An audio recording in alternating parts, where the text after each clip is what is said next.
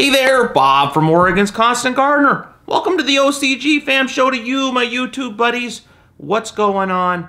Let me know in the comments and let's talk about it. Today, viewer question, specifically one viewer question from Bruce Leaf, who, uh, thanks for the question, Bruce, and thanks for supporting the show. Really appreciate everything you do. So his question was about PPMs and about the level you want to get those at. And uh, we'll, I'll have the question in the video with you. I went over to Nectar for the Gods and talked to Scott over there, Scott Ostrander, and he answered the question, but he also went more into depth about PPMs, EC, about the uh, levels in your soil and where you want to keep those and why. So watch this video, and I'll talk to you after.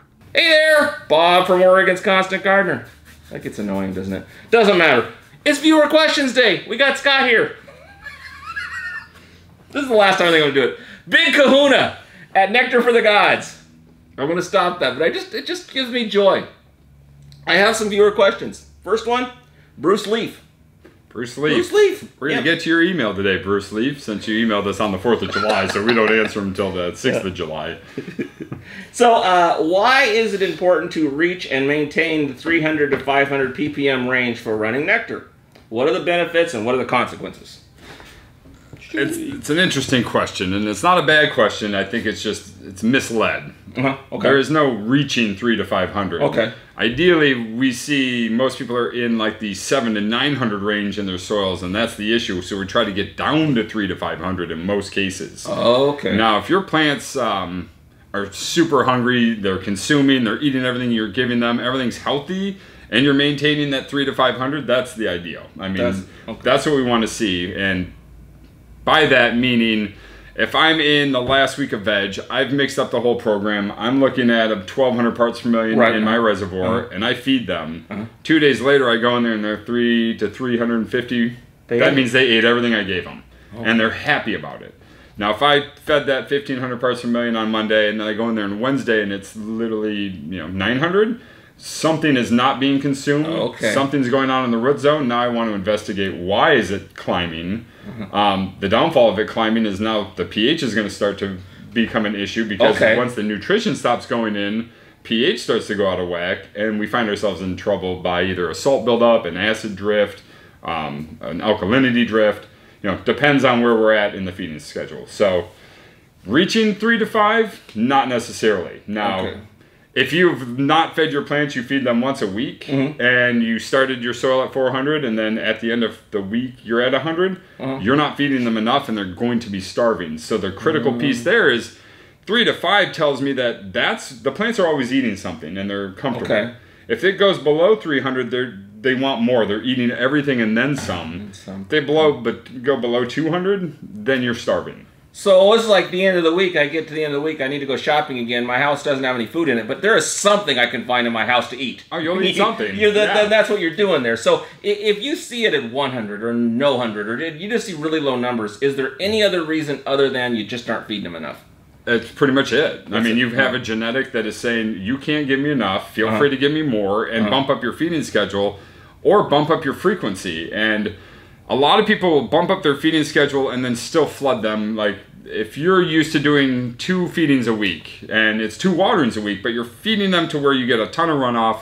Um, the problem with that is that you have to wait so long in between feedings. Okay, sure. So if I feed on Monday and I have to wait till Wednesday or Thursday before I can give them more, well, the plant is still actively growing. They're consuming that last food. okay. So what you can often find, and a lot of people will come in or email me these questions, Mm-hmm. is, you know, I've been feeding 1,200 or 1,500 parts per million twice a week, but my parts per million are always 100. Well, because you saturate a 20 gallon pot, it lasts four days in there. Mm-hmm. The plant is eating everything. By the time you go back to watering before the risk of root rot happens, Sure. you are depleting that soil of so much nutrition the plant begins to starve. So my answer to that is frequency.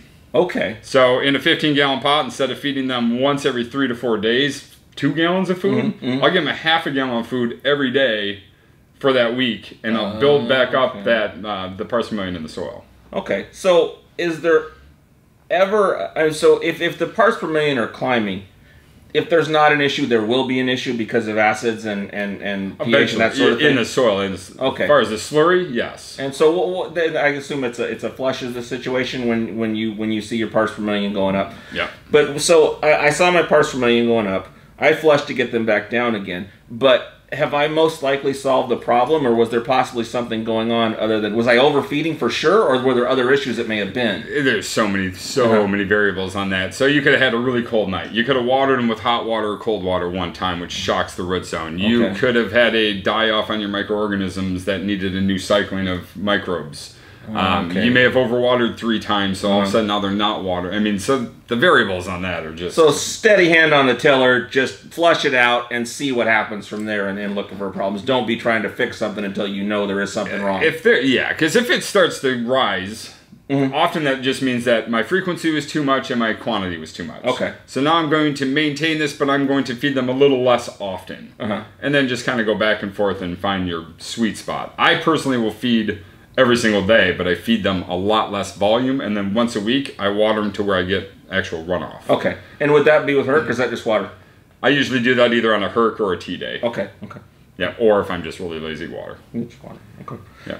I, I think that covers it. So, I think but- so, and I'll, yeah. I'll touch base more with you, uh, Bruce. Bruce Leaf, Yep. on uh, your actual email. There, you had a few more questions on there that I saw, but um, pretty much there's no getting to 300. The only reason why you ever have to get to 300 is because you haven't been feeding enough. So more often or more. Yeah. So, and if I did do, I see my numbers climbing up, I would flush. I wouldn't just back off of my feeding. I would back off of my feeding to do less, but I would also do a flush, or would you just maybe like Yeah, try to eat through that? I mean, if it's not above a thousand, I would just water Back through it and see if I can't get them to eat that food I put in, so I don't tie it up and get rid of it. If you're above a thousand, you're going to see issues. You're going to see tip burn. You're going to see edges being Something's crisp. got to happen to get that down. Yeah, there's Okay. you want to tie that up and make it faster because a lot of times, by the time you see the issue, it happened two weeks ago. Oh. And okay. so a We lot of gotta move. deficiencies weren't because what you did yesterday; it's what didn't happen last week.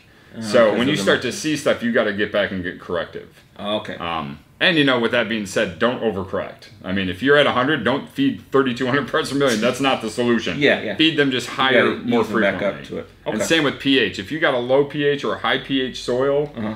you can't go like you can't take an 8 pH soil and flush it with 4 pH water. You'll kill shit in the soil. okay. Okay. Vice versa, if you have a really low pH and you're trying to get it up, doing 8.0 water, you're still not feeding the plant. You're just buffering the soil, so the plant's still not going to and consume so it's going to starve until it finally so gets you to the point where get the zone correct. I so gotcha. my biggest like advice, if you're working, especially acidic soils, if you're Mm-hmm. working with a 5.2 or 5.5 soil, feed at 6.6, 6.7 frequently, you know, less volume more often, get that limestone into that medium, and as it's, it will buffer it back up in a period of time. Okay. But just trying to flash it with sevens or eights, it's just going to shock your root zones, shock your microorganisms, basically kill your microorganisms. So this is very detrimental to your microorganisms and not happy for anything else. Nobody likes a pH swing that strong. So Okay.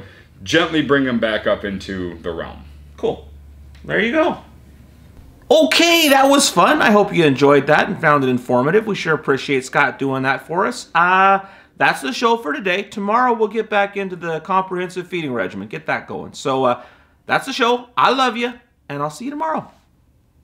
For more information about anything on today's show, go to our website, ocgfam.com. And if you buy anything while you're there, use the code OCGFAMSHOW. It's going to save you 20%, and it's a lot of fun. The OCG Fam Show. It's pretty good. It happens every day. It's the OCG Fam Show. See you tomorrow.